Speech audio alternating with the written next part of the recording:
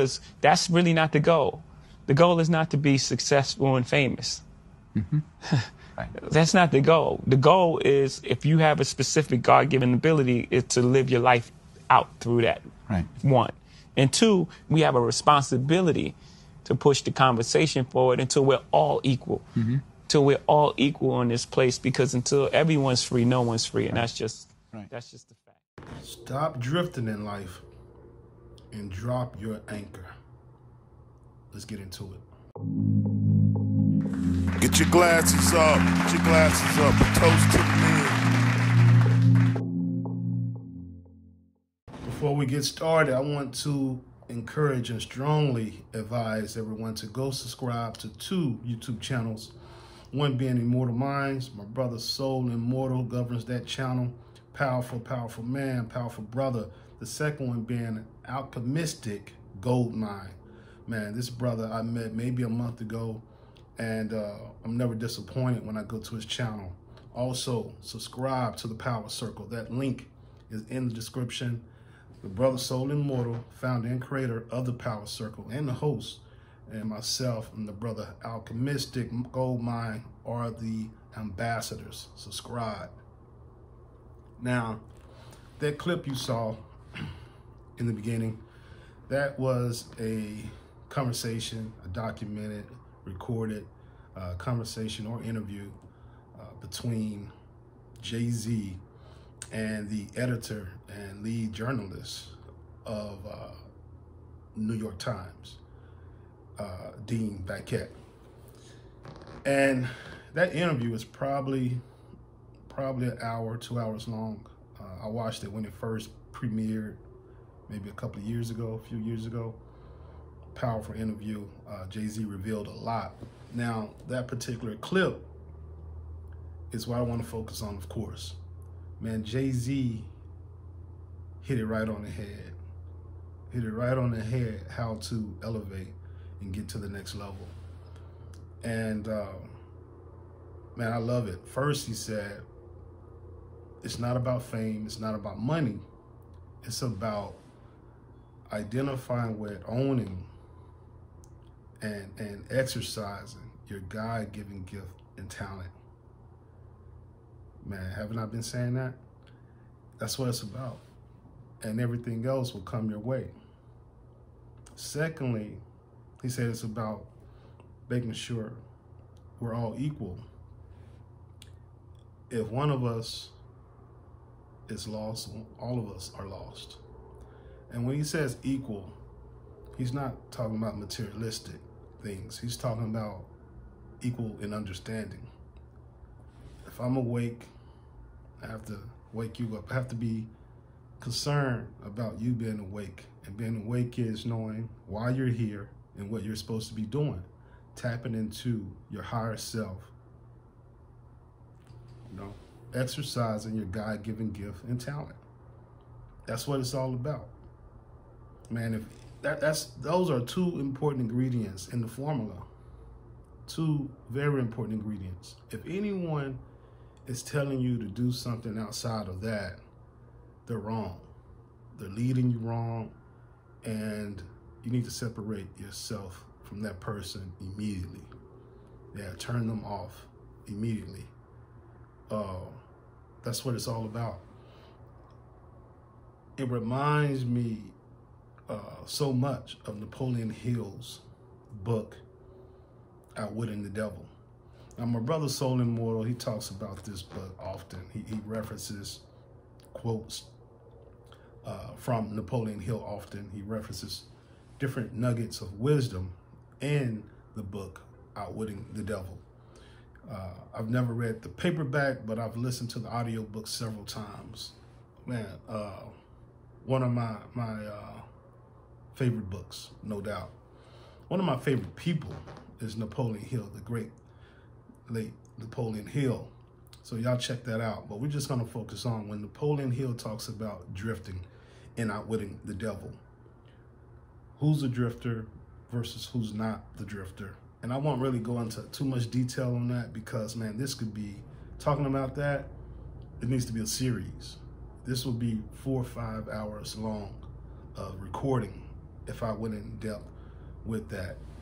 And uh, and I probably wouldn't even be doing it justice. Probably would have to have my, my, my brother Soul on here uh, to tag team that thing. But, you know, what is drifting?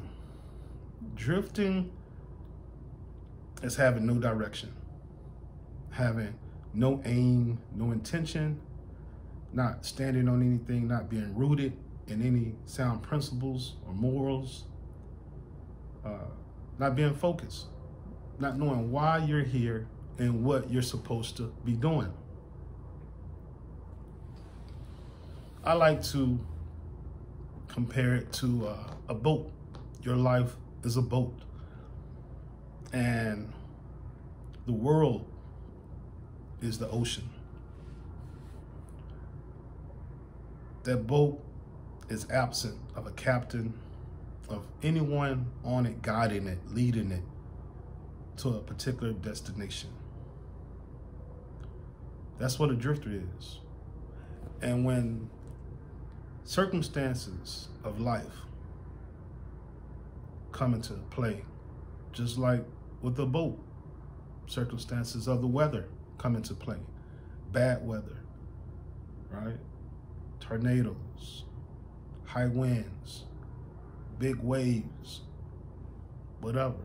You got to have a captain, someone who's confident and experienced and faithful to know how to guide that boat through those rugged and treacherous storms. You have to, or it's going to upside and it's going to be disaster. That's your life.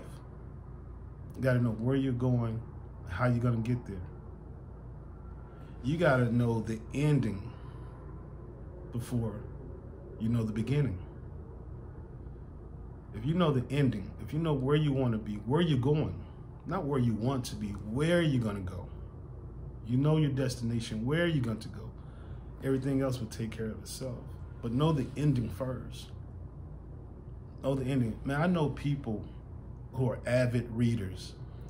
And if they're reading particularly a, a mystery book, they'll go all the way to the end and see how the book ends. And then they'll go back to the front of the book and read it. And that's how we got to do our lives. We got to know the ending first. And then we'll go back and set the plan in motion. Create a plan and set it in motion. That's how you avoid being a drifter. Now, I'm not going to go into detail about what Napoleon Hill states in Outwitting the Devil of what a drifter is and, what a drifter is not. Like I said, man, we'll, we'll, be here for hours, but I advise you to check out that book. You got an audio book form on YouTube. Check that out. And, uh, but a drifter doesn't know where he's going. A non-drifter definitely knows where he's going. And he knows the ending. He'll figure out the rest in due time. But he definitely knows the ending, how it's going to end. You got to write your entire story. When I wrote A Toast to the Men, before I knew the beginning, before I knew the meat of it, before I knew anything in between the beginning and the end, I knew the ending. I knew the point I wanted to get across. I knew my mission. I knew my purpose. And then I figured out as time went how I was going to get there. But the ending, the purpose, the mission never changed. I was focused on getting there. And I got there. Jay Z is absolutely correct. Focus on honing your God given talents and gifts. Everyone's here for a reason. Everyone. Everyone is a genius. I know you might be saying, nah, not not not old girl, not old boy. Or you might be saying, not not me, not you. I'm telling you, everyone is special. Everyone is a genius. Just gotta tap into it. You gotta tap into it and believe and know what you're here for. Everybody's gonna get that at different times. I believe some of us are gonna have to come back and get it. But when you find out what you're here to do, what your God given gift and talent is, and then you exercise that, you put that emotion, manifest that, that's how you become everlasting. That's how you leave your fingerprints on this world. That's how you live a life worth remembering. That's a legacy. If anyone's telling you opposite of that, man, they lying to you. They're lying to you. Let me, let me tell you something else too, man. I see a lot of get rich schemes on YouTube and um, IG, and there are no short, shortcuts. You're to pay for it one way or another. Now, you might make a few bucks real quick, but it won't last. And you won't have eternal peace. There'll always be something in you feeling incomplete, feeling shame, always, because you know you're out of alignment. You're not doing what you're supposed to be doing. Facts. And something I want to know, I want you to notice too, for my people viewing the video. Look at Jay-Z's eyes. They say the eyes are the windows to the soul. And I believe that. You can tell a lot by looking into someone's eyes. Uh, if they're happy, sad, depressed, you know, worried, scared, relaxed, joyful, you can you can tell everything, you can see everything you want to know by looking into someone's eyes. Facts. When you look into this man's eyes, you see relaxation, you see joy, you see fulfillment. That hasn't always been the look in Jay-Z's eyes. I'm telling you. And some of these guys, I see uh, they're not aligned, but they have these schemes of somewhat coming up.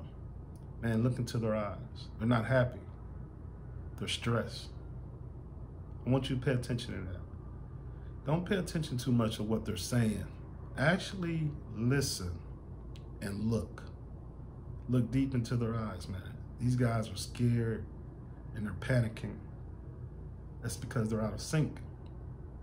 They're not aligned. Just something uh, to pick up on and, and pay attention to. But I'm gonna give you a nugget of how to stop drifting in life and drop your anchor. I'm gonna break this down. So this is what I believe. I'm gonna read this to you. One's anchor must be the firm witness of scripture, grounded in faithful and prayerful devotion. One's anchor. Ones. What is ones? That's your higher self. That's you. That's not anyone outside of you. That's your God given purpose and gift and talent. That's your energy, your higher self while you're here. That's the one. That's the one. That, whatever that is, has to be anchored. Has to have an anchor with the firm witness of Scripture. What's an anchor? Hope and future existence. That's what an anchor is. Hope and future existence. But an anchor must be attached to something. What is going to be attached to? It's going to be attached to my God given talent and gifts. That's the anchor. That's what it's going to be attached to. And it must be the firm witness of Scripture grounded in faithful and prayerful devotion. The firm witness, firm, the strong witness, the strong witness of Scripture grounded in faithful and prayerful devotion. So we already said the anchor is hope in future existence. Future existence. And now it's saying I must have be a firm witness of Scripture, grounded in faithful and prayerful devotion. How can I be a witness to an anchor if the anchor means the hope of future existence? How can I be a witness to that? That means I have to time travel up here in my mind. I have to see it. I have to experience it in my mind. I have to write the ending before I write the beginning. That's how you witness it. That's how you witness a future existence. You have to see the end. You have to see the end. That be a witness of scripture. Scripture, what is scripture? Word, affirmations. I spoke it, I said it, I affirmed it. It is. It is. The ending is. I know you don't see it yet, but I've already witnessed it. I established it. It's there. Now I'm going to go back in time to the beginning and I'm going to walk my trek and reach the ending so you can witness it in real time. Must be grounded. Grounded in faithful and prayerful devotion. Grounded. Now, when I think of grounded, man, that affirmation of hope, of future existence, must be grounded. The affirmation must be grounded, man. Affirmation, when I think of grounded, I think of a plane that has been grounded. It has been prohibited to move. It has been prohibited, restricted to move. So when you say it, when you speak it, when you affirm it, you have to ground that thing. It's prohibited to move. When you ground an electric outlet on an electric wire, when you ground it, it prohibits electricity from flowing. You ground it. That's what your affirmations have to do to your anchor. That's what your words have to do to your anchor. The hope of future existence. That's what it has to do. And then that grounding, it has to be grounded properly. You can't just ground a plane or anything or any way. You can't just ground electricity any old kind of way. You have to ground it properly. That's a process. That process is in faithful and prayerful devotion. Faithful, rock, rock. What is a rock? What is faith? What is faith? What is rock? Unbreakable belief. Prayerful devotion. Prayer. Now you may think prayer is bowing your head and praying. No, we already affirmed it through scripture, through our words, right? Did that. So what we're gonna do? Prayer. Prayer is repetitive action. Repetitive action. Repetitive action. That's why, you know, the word says, stay in continuous prayer. You have to live this. Yeah, I said it, I spoke it, but now I got to live it. Because if prayer meant bowing your head, how can I stay like that continuously? No, prayer is alive. It's an action of me living, me living it out. The works. And that has to all be done at the end. Devotion, prayerful devotion, love. Devotion is love. That's how everything is sealed is sealed in love. So I'm going to read that to you again. One's anchor must be the firm witness of Scripture, grounded in faithful and prayerful devotion. That's the cheat code. That's the cheat code, fellas. If anyone's telling you a formula outside of that, man, it's synthetic. It's not natural. It's not the real deal. It's hella toxic. Hey, as always, from me to you, love, peace.